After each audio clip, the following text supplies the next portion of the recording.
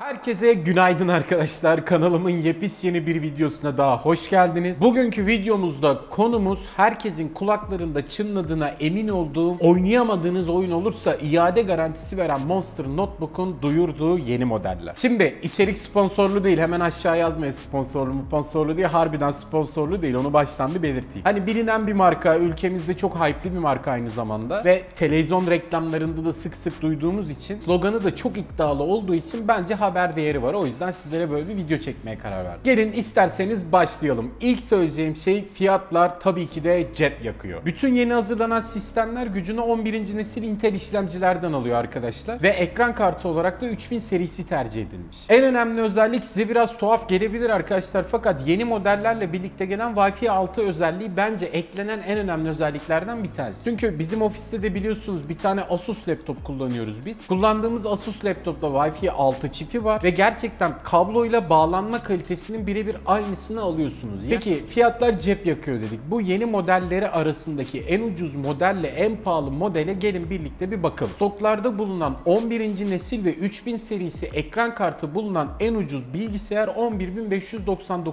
TL. Bu modelin adı ise Abra A5 v 17.1. Bu modelde bulunan işlemci i5 11400 H serisi. Şimdi bu H önemli arkadaşlar çünkü bu tarz mobil cihazlarda kullanılan işlemcilerde H ibaresi bulunur. Ama tabii ki de bu performans anlamında sizi ürkütmesin çünkü bir dizüstü bilgisayarın kullandığı enerji miktarıyla bir masaüstü sistemin kullandığı enerji miktarı bir değil. Bu yüzden hani çekirdek anlamında vesaire vesaire anlamında çeşitli optimizasyonlara gidilebiliyor. Bunun temel nedeni ısı ve performans. Peki nedir bu işlemcinin değerleri? Turbo değerlerde 4.5 GHz'e kadar kendisi yükselebiliyor. Ekran kartı olarak ise Nvidia'nın RTX 3050 modeli tercih edilmiş. Bu model 4 GB 128 bitlik bir ekran kartı. Bu ne anlamı geliyor? Şu anlamı geliyor. Şimdi oyunlarda falanlarda filanlarda son nesil oyunlarda böyle çok ciddi sorunlar yaşamazsınız Full HD çözünürlüklerde. Fakat ben bu sistemi alayım aynı zamanda üniversitede işte okulda öğrenciyim proje yapayım onu renderlayayım falan filan gibi işleriniz varsa bu ekran kartı 128 bit ve 4 GB olduğu için sizi tam anlamıyla tatmin etmeyebilir. Ama oyun oynarsınız. Monitör kısmı ise yine fiyatına göre bence olumlu olmuş arkadaşlar. 15.6 inçlik monitörümüz 1920'ye 1080 Full HD çözünürlüğü de destekliyor. Tek bir sıkıntılı yön daha var. Yani ekran kartının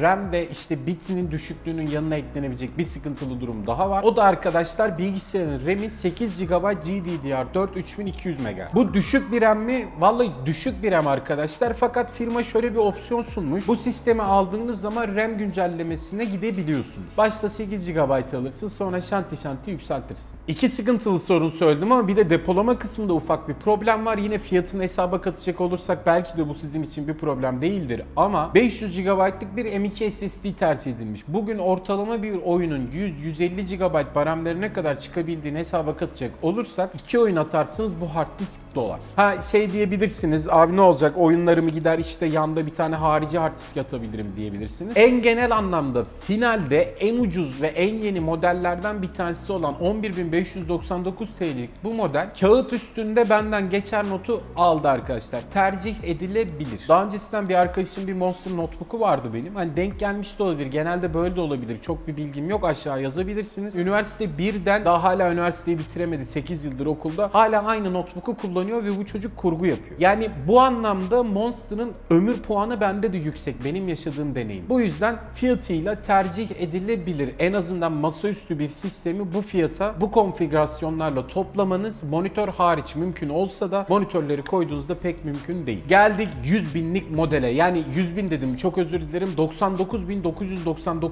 TL'lik model. Serinin adı Semrook S7 V8. Şimdi bu bence biraz abartı. Hatta bana soracak olursanız firmanın viral hamlelerinden bir tanesi. Atıyorum içerisine yerleştirilen SSD'lere bakacak olursanız 3 tane 2 TB'lık Samsung'un M2 SSD'si yerleştirildi. E zaten fiyat da başka türlü bu kadar şişemez. Mesela RAM'lere bakalım. RAM'leri üzerinde de 128 GB. 4x32 şeklinde. Şimdi ben hep söylüyorum tekrar söylemek istiyorum. Bahsettiğimiz şey bir notebook. Gidersiniz bu kadar güçlü konfigürasyonlu bir sistem alırsınız. Ondan sonra dizinizin üstünde hiçbir şey yapamazsınız. Çünkü bu bilgisayar muhtemelen çok ısındı. Bundan da emin değilim ya. Ürün gelmediği için elime şu an şey konuşuyorum. Ne denir böyle malumatı furuş denir. Hocam öyle derdi. Yani şeyi geçersiz bilgi. Yani malumatı furuş bilgi. Şimdi tam açıklayamadım. Hani anladınız siz onu ya. Yani daha tam oturmamış bilgi. Neyse işlemciye gelelim. İşlemcimiz i9 11900K serisi. Bu K ne demek arkadaşlar? Yani overclock hız aşırtmaya uygun model demek. Zaten kendisini full power çalıştırdığınızda değerler yaklaşık 5.3 GHz'e kadar yükselebiliyor. Ek olarak da işlemcimiz 8 çekirdekli ve 16 adet iş parçacığı bulunuyor. Bu ne demek? Yani siz bu sistemde tabii ki de 100 bin lira verdiniz. Hem oyunları bayağı oynarsınız hem de diğer render işte daha 3D daha böyle ciddi tasarım işleriniz gibi işlemlerinizde bu işlemciyle gönül rahatlığıyla yapabilirsiniz. Ekran kartı tarafında ise 16 GB'lık Nvidia RTX 3080 Max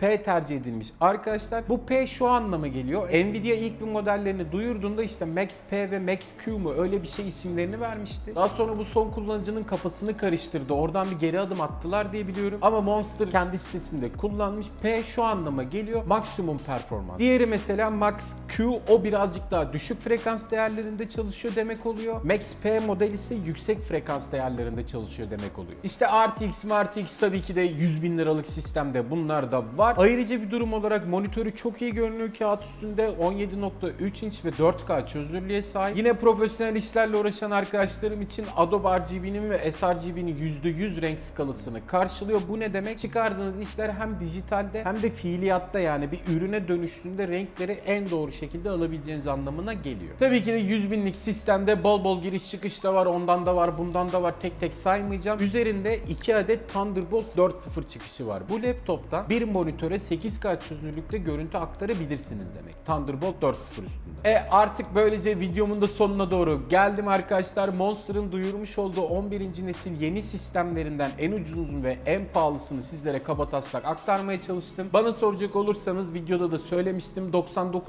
99.999.000 TL'lik model direkt viral bir model. Yani bir tane falan vardır diye tahmin ediyorum. Ama o ucuz model bence tercih edilebilir diyerekten videomun sonuna geliyorum. Sizler de bu markayla ilgili yaşadığınız deneyimleri yorum bölümünden benimle paylaşabilirsiniz. Mesela hani ben kişisel bir deneyim aktardım size. Marka birazcık daha uzun ömürlü bir etiketi var bende. Acaba doğru mu düşünüyorum? Sizin deneyimleriniz nedir? Yorumlardan lütfen belirtin. Videomu beğendiyseniz de şurada beğen butonu var. Abone olmayı unutmayın arkadaşlar. Şurada aynı yerde ya da şurada bir yerde abone ol butonu da var. E başka videoda görüşmek üzere. Hoşçakalın.